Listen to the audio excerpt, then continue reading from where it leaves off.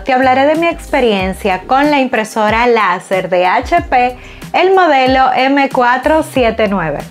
Si tienes un tiempo siguiendo el canal, ya conoces mi historia con las impresoras y si estás considerando adquirir una máquina láser para tu espacio de trabajo, pues definitivamente debes de ver este video pues tengo algunos puntos para que tomes en consideración.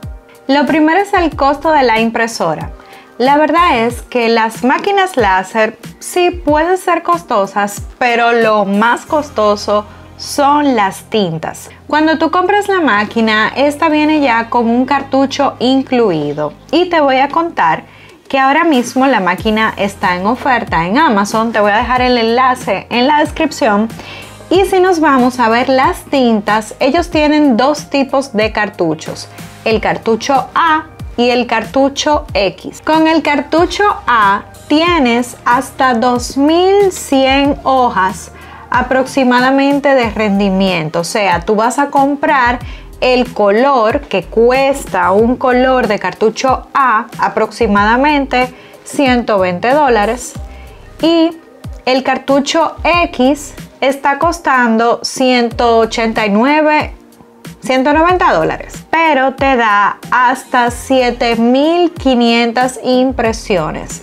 Esto va a depender obviamente de la calidad en la que imprimes, o sea que si tú imprimes en una calidad media o baja porque vas a hacer algún tipo de prueba, puedes aumentar esta cantidad de páginas que te puede dar este cartucho. Ustedes saben que yo estaba renuente a adquirir una impresora láser por este tema de las tintas, pero luego de ver y considerar el costo por hoja, pues la verdad es que sí es rentable, porque vamos a calcular. Entonces hago el cálculo que es 120 dividido entre 2100, estamos hablando de 0.05.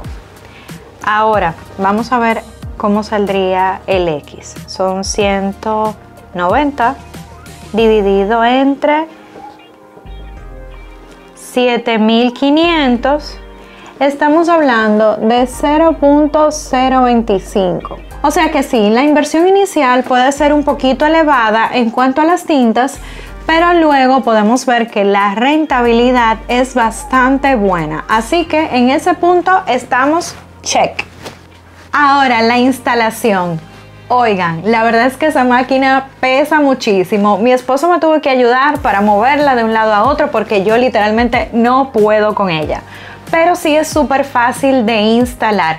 Simplemente vas desempacando y siguiendo todos los pasos. En el manual y en su web se encuentran todos los detalles.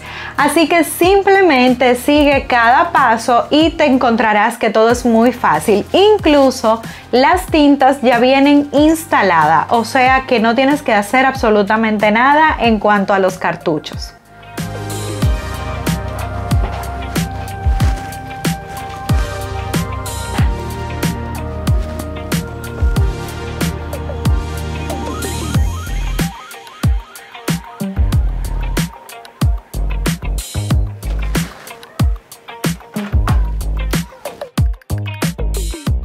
Algunas funciones adicionales que son un super plus es que puedes sacar copia y escanear. O sea, señores, y lo del escáner me encantó. Te lo manda directamente a tu correo súper rápido. Incluso te asignan un correo para que si tú quieres enviar a imprimir algo desde tu celular, yo simplemente, es más, vamos a mandarle un correo a la impresora y vamos a imprimir, ¿qué vamos a imprimir? Vamos a imprimir mi dibujo. Vamos a mandar un correo. Vamos a buscar impresora. Ok. Prueba. Miren, aquí ya yo tengo grabado el correo de mi impresora. Así que le voy a dar a enviar. Listo. Ya le envié un correo a la impresora. Vamos a ver qué tiempo dura en recibirlo. 8 y 20. Miren, ahora está llegando la impresión. Miren cómo lleva llegando. ¡Oh, sí! ¡Ya llegó! ¡Tarán!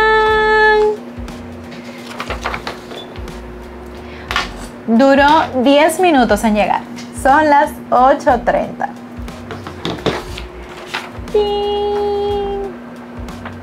Oigan, y para que no quepa duda, me llegó esta nota enviada desde mi iPhone. O sea, literalmente salió la descripción en otra hoja. Aquí está. Un punto importantísimo en cuanto a las impresoras láser es que debes de tener en consideración que no todos los papeles se pueden imprimir aquí. Al igual que las impresoras inkjet, debes tomar en consideración el tipo de papel que vas a utilizar. Si bien es cierto que sí puedes utilizar un mayor gramaje con estas impresoras láser, esta en particular te recomiendo que lo utilices en la bandeja 1. Esta es la bandeja 1 y debajo tenemos la bandeja 2 que es para papel regular, papel de copia. Entonces, en la bandeja 1 te recomiendo que coloques todos los papeles que son distintos. Hablamos de cartonite, hablamos de opalina, de sticker y todos estos tipos de material deben ser para láser. ¿Qué sucede? Si tú colocas un papel que es para impresora inkjet, podría resultar en un daño a la impresora ya que podría derretir el material y pues no saldría muy bien. Otra cosa que podría pasar es que se corre la tinta, como que se va bajando. No te lo sé ni explicar porque sale seco, pero la imagen sale movida. Esto pasa porque no es el papel apropiado para tu impresora. En estos días me la he pasado probando papeles. Incluso me pedí unos nuevos porque obviamente yo no tenía impresora láser, entonces pedí unos nuevos para ir probando. Mientras me vayan llegando yo seguiré haciendo mis pruebas, pero hasta el momento no me puedo quejar. Los papeles que he utilizado me han dado una muy bonita calidad. Hice unas tarjetitas para la despedida del colegio de Mateo y también estoy trabajando en mi nueva tarjeta de presentación ya que voy a ir a un evento muy pronto y pues me encantaría poder regalarle esto a un montón de crafters. Uy, creo que dije demasiado. Ahora, ¿qué cosas se pueden hacer en una láser que no es posible hacer en una inkjet? Aplicar foil. ¿Y qué es el foil? El foil es un material que nos puede dar un resultado metalizado hermoso.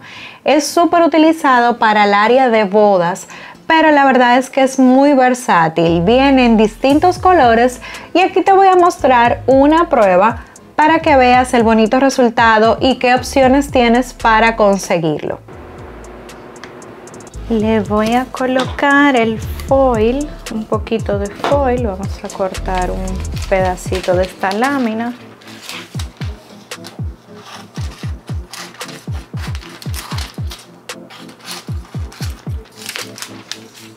Lo coloco por acá. Le voy a pegar un poquito de este tape, es el tape de calor. Se pongo aquí, simplemente para que no se mueva y con una hoja de papel bond normal yo le voy a hacer como un folder para que ella no tenga el calor directo sino que pase por por esta parte del papel y entonces lo voy a colocar en esta laminadora plastificadora realmente eh, de forma normal ok le di dos pasadas en la plastificadora, entonces voy a quitar el papel y vamos a ver el resultado. ¡Wow! O sea, qué bello quedó eso. Miren, aquí se ve cómo eliminó por completo este foil y quedó pues aquí. Recuerda que siempre todos los materiales que estás viendo en los videos los puedes encontrar en la descripción del mismo. Y si quieres ver más proyectos de papelería creativa, stickers de impresión, de personalizado, en fin, incluso hasta si les interesa ver un poquito más de mi trabajo, pues Déjamelo en los comentarios. Me encantaría saber si están interesados en seguir viendo estos proyectos y para eso lo que te recomiendo es que te suscribas al canal.